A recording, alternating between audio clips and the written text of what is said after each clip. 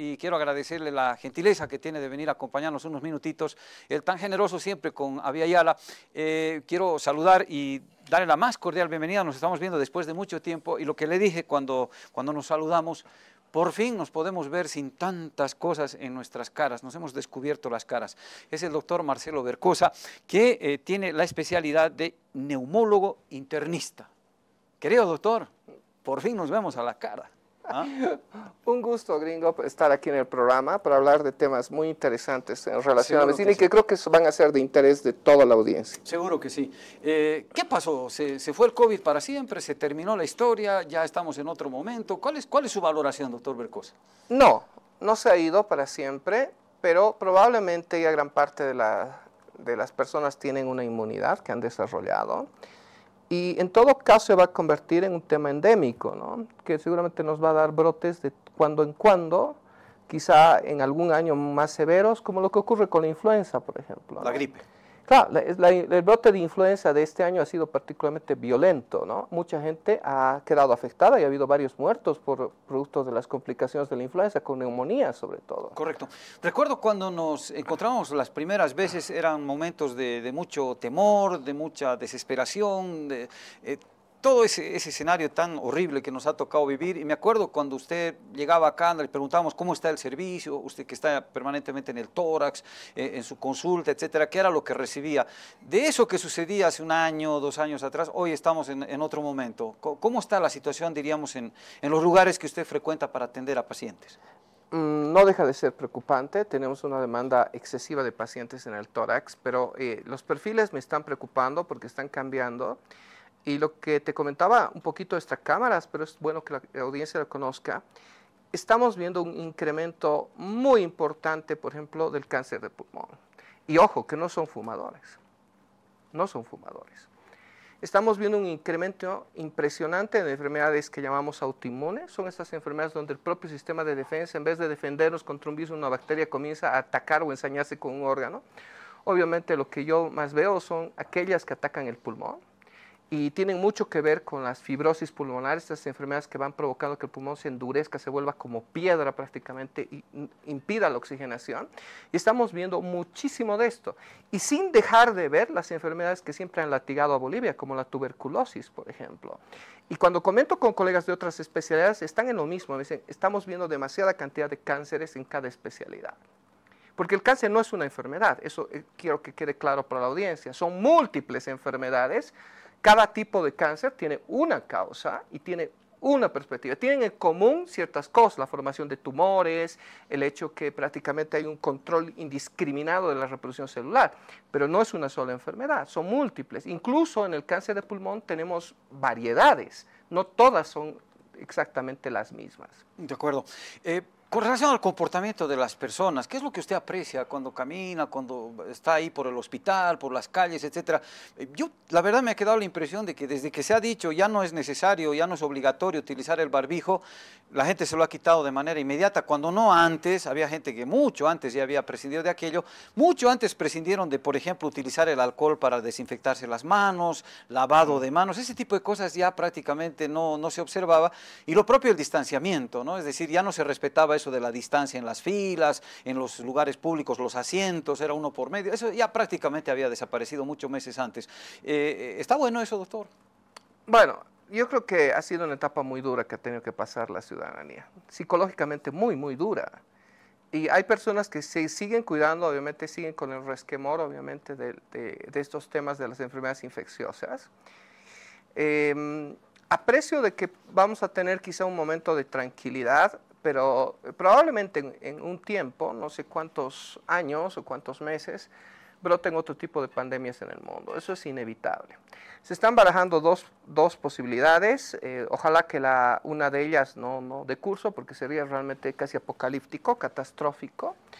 Pero el, em, estamos en una época, digamos, eh, de una luna de miel en ese sentido. Eh, hay personas, como digo, que siguen cuidando, personas que obviamente ya hartas del barbijo. Personalmente, yo, yo, te puedo decir, gringo, que realmente es duro hacerlo. Yo tengo que estar horas de horas con la protección y es complicado, porque además te vas dando cuenta, por ejemplo, que los barbijos van eh, poco a poco soltando como fibrillas, ¿no?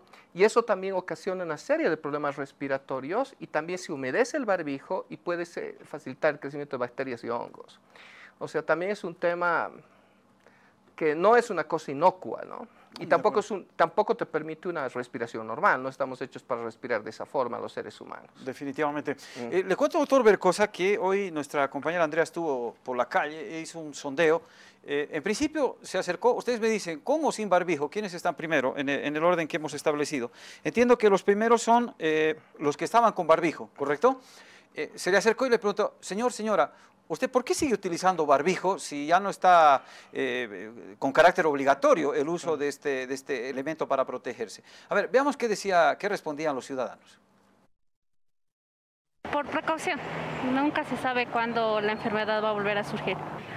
Eh, porque está un poco resfriada y hago visitas a oficina, entonces siempre para cuidarme a mí y también a los demás.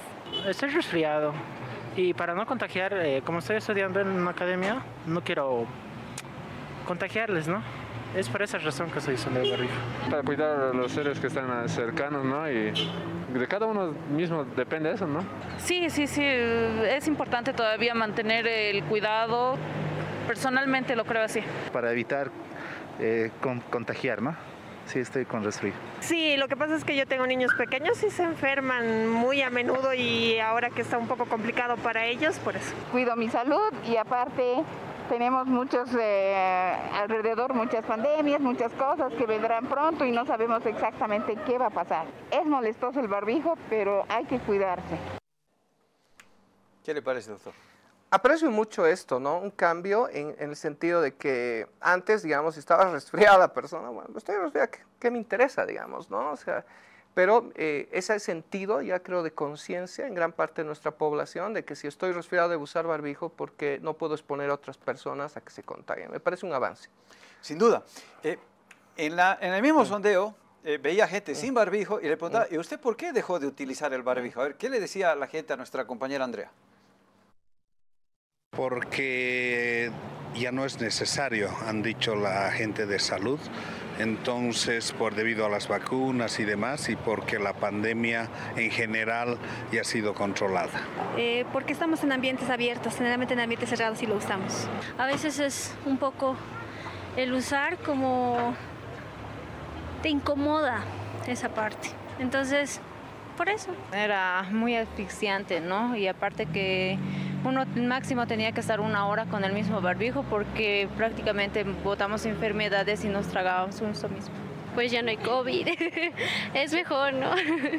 o sea, se respira mejor, la verdad, con el barbijo no se podía respirar, muchas veces te quedaba sin aire. Ah, más que todo por la comodidad. A mí se me hacía muy incómodo el barbijo, demasiado incómodo, tanto en espacios muy cerrados y en ambientes donde yo estudio o algo se me hacía difícil respirar y licenciados, profesores, todos siempre decían, pues eso hijo. Y desde que dijeron que ya no, ya hasta en teleféricos ya no te piden ni nada, así que es más cómodo para mí.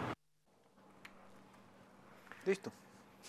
Correcto. Correcto, sí. Lo que, usted decía hace un ratito. Sí, exacto. ¿Cuánto tiempo habremos estado con ese pinche barbijo? Unos dos años y poco, ¿no? Yo creo que casi unos tres años. Ha sido una etapa muy dura, ¿no? Muy complicada. Muy difícil. Vamos a mostrarles a, los amigos televidentes, doctor, no sé si usted tiene presente estos datos, eh, son los cuadros del Ministerio de Salud, son los datos oficiales, es el último cuadro que hemos encontrado, ya no han actualizado después del 15 de agosto, ¿sí? Del 15 de agosto, es decir, estamos hablando de hace exactamente 10 días. Hace 10 días fue, entendemos, por lo menos la última publicación, nosotros no hemos encontrado otros datos. Fíjense, ese día, por ejemplo, claro, la cantidad de, de, casos ya había bajado de manera dramática, fueron ese día solamente 57, eran un poquito más los recuperados, 186, pero ese día el total de casos, desde el primer momento en el que se empezó a llevar registro de esto, se habla de 1.207.206 personas que tuvieron, o casos de COVID, porque hubo personas que tuvieron dos, tres y hasta más veces. ¿Hasta cuánto escuchó usted que le dio a una persona de COVID? Cinco. Cinco veces. Cinco veces. Cinco veces. ¿Y ya tenía vacuna esa, esa, persona? No. No. Ah, buena, buena respuesta. 1.207.206 casos hasta el 15 de agosto. Los recuperados fueron 1.700, eh, perdón, 1.177.145 Fíjese este dato, 22.399 personas murieron por COVID.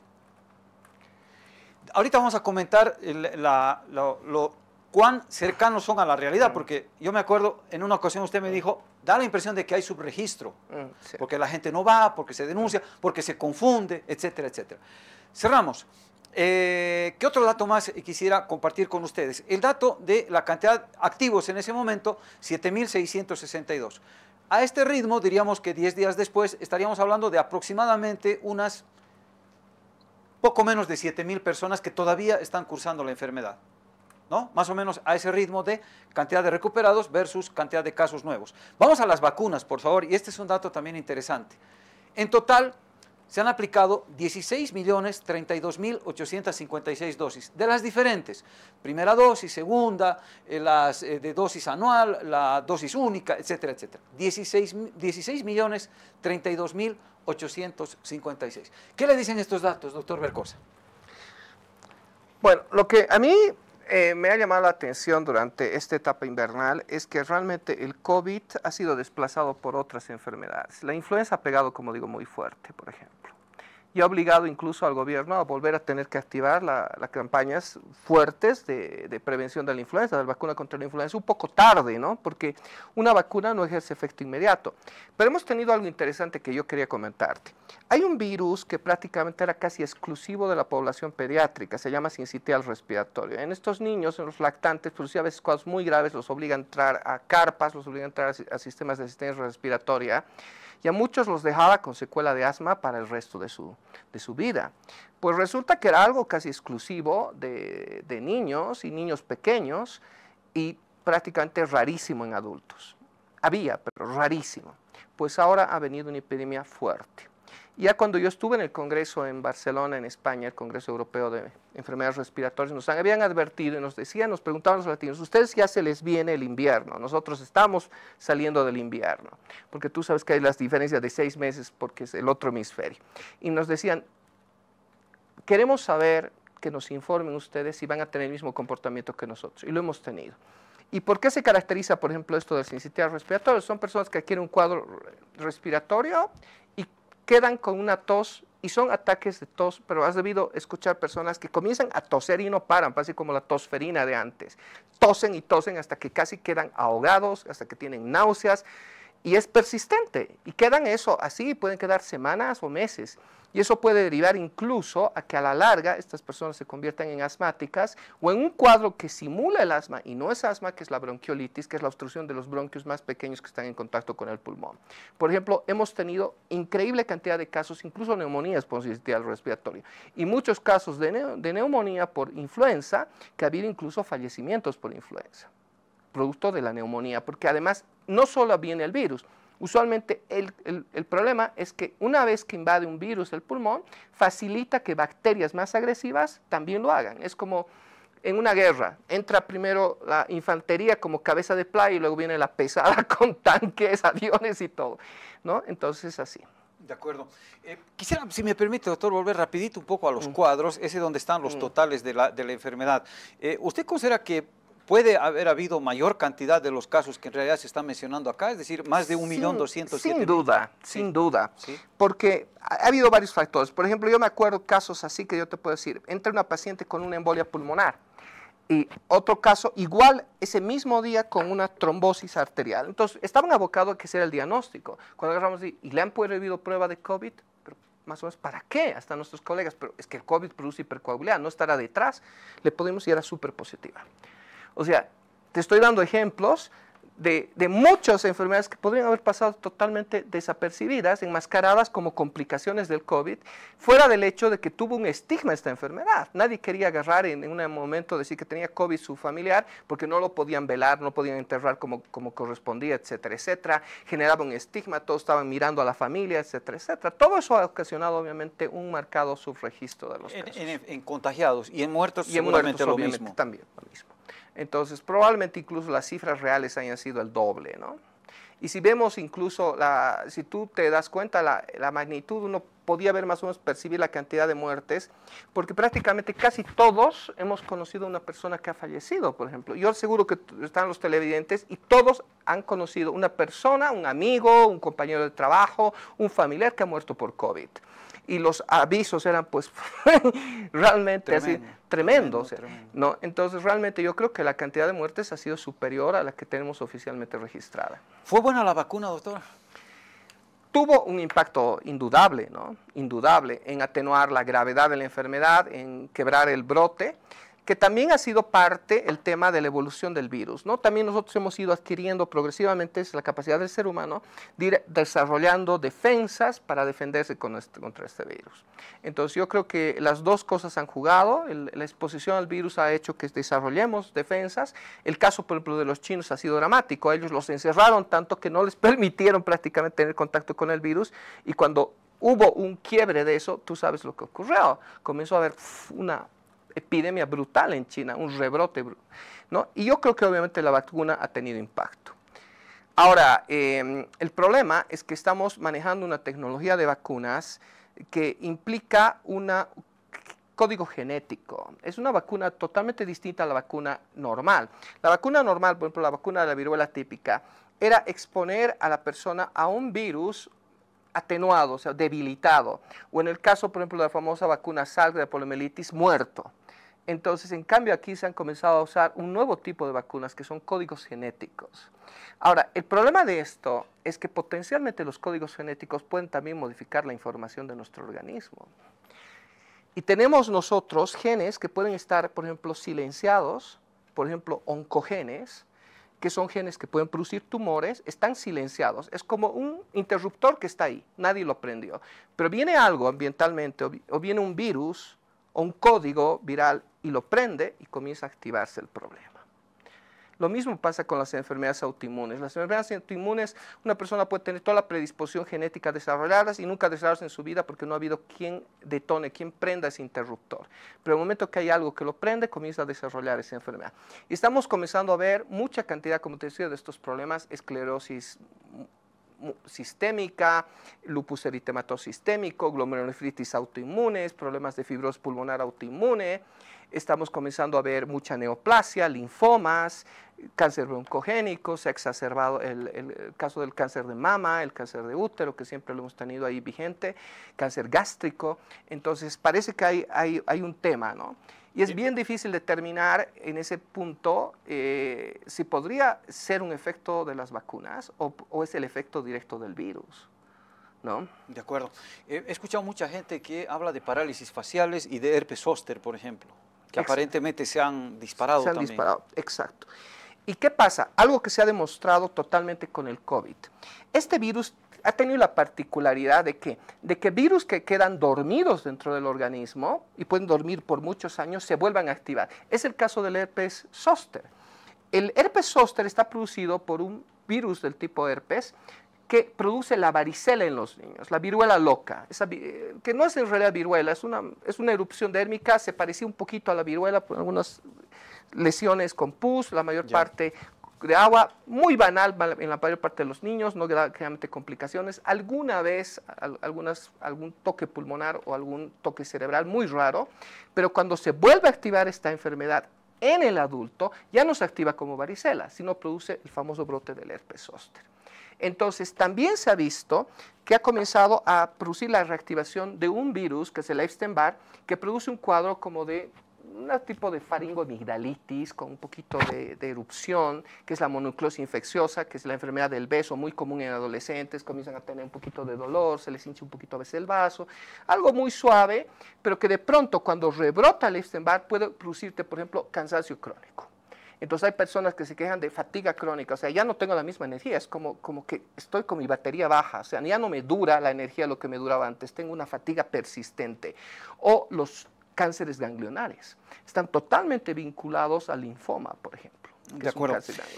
La última pregunta, doctor, sobre las vacunas. Eh, decían que tenías que vacunarte cada seis meses, era la recomendación. Y yo me acuerdo que ya había gente que ha llegado hasta la quinta vacuna, no sé si hay gente que mm. se ha vacunado más de cinco veces. Mm. Eh, ¿Qué vendría ahora? ¿Hay que seguir vacunándose seis, siete, ocho, diez veces en los próximos años? no, yo, creo que, yo creo que hay que analizarlo muy bien. Yo creo que hay que individualizar cada caso, los factores de riesgo y los riesgos y beneficios, porque no podemos estar... Eh, hay que tomar en cuenta que las vacunas no son totalmente inocuas.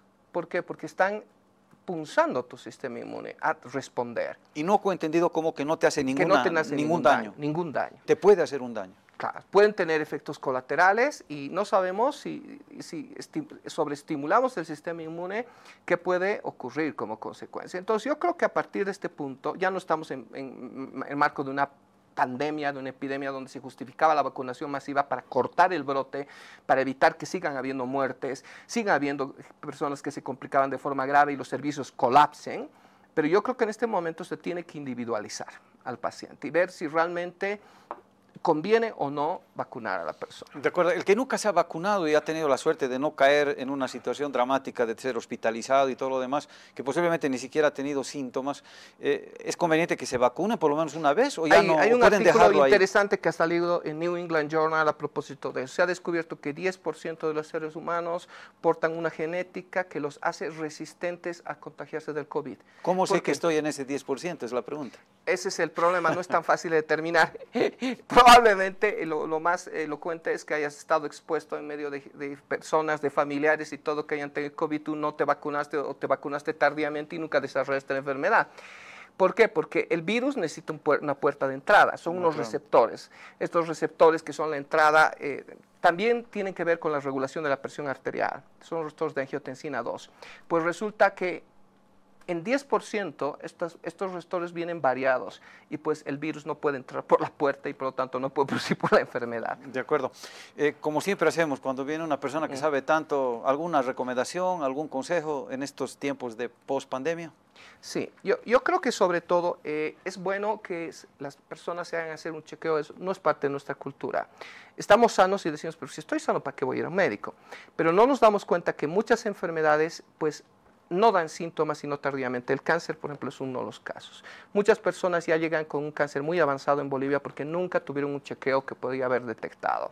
Lo mismo pasa con los problemas renales. Muchas personas comienzan, ya directamente les avisan, comienzan a tener náuseas, vómitos, hincharse y les dicen, usted necesita diálisis. Pero yo jamás supe que tuve un problema de riñón y tenemos un montón de personas que están dializando.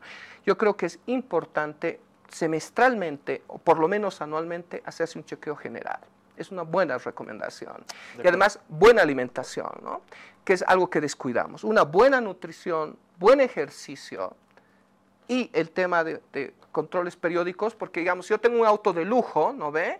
Y que mi auto de lujo es mi organismo, porque si no estoy sano no puedo hacer nada, por más que tenga dinero, por más que tenga, se me acabó todo. Pues yo tengo un auto de lujo, ¿voy a dejarlo ahí dos años, tres años a la deriva? No, lo vas, lo haces limpiar semanalmente y seguramente lo llevas cada tanto para que le hagan su mantenimiento. Pues todos necesitamos también mantener nuestro organismo, tenemos que llevar al mecánico también, ¿no ve? Nuestra máquina biológica, en este caso un médico, que, un internista, un médico familiar que nos haga un chequeo general. Buenísimo. El doctor Marcelo Vercosa es un, capísimo, un crack total, nosotros siempre lo, llamamos, confiamos plenamente en él y seguramente, bueno, espero, que cuando nos volvamos a encontrar sea para temas gratos, obviamente no sea para que la gente se tenga que asustar. En todo caso, la tarea preventiva es, fundamental y, y eso nos parece también significativo. Doctor, como siempre, agradecemos la gentileza que tiene de acompañarnos acá y cualquier ratito lo, volvemos a molestar. Muchísimas gracias, gringo. Me parece eh, importante tocar estos temas y como digo una vez más, yo creo que dieta, ejercicio, un buen estilo de vida y pues mantenernos sanos y productivos. Seguro que sí. El doctor Marcelo Vercosa, que es neumólogo e internista, estuvo compartiendo estos minutos acá en nuestro central.